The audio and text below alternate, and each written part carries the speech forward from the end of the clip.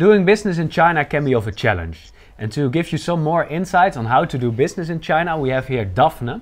And she is a vlogger with a successful e commerce business in Chengdu, China, and in Amsterdam.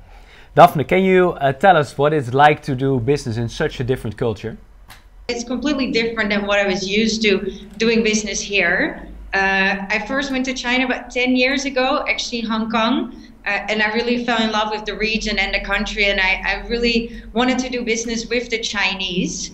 Uh, but yeah, a lot of it evolves around Guanxi. And what is it, Guanxi? Well, Guanxi literally means relationships, uh, but what it means in doing business is that it's all about your network uh, and the personal contact with the people that you do business uh, with.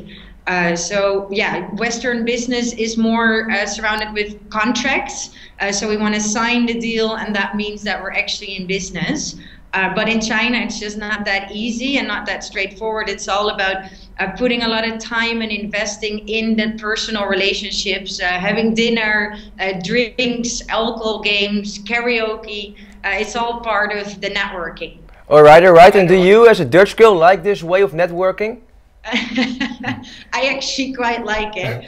Uh, I can get along in the drinking and the dinner, and my uh, Britney Spears on karaoke is quite good. I can understand. Understand. Do you have uh, advice for uh, young other young people who want to dive into the Chinese market? Well, I'd say go for it. Uh, it is a completely different ball game, but it can be really rewarding, uh, and it's just a lot of fun getting to know another culture. Uh, yeah, so just do it.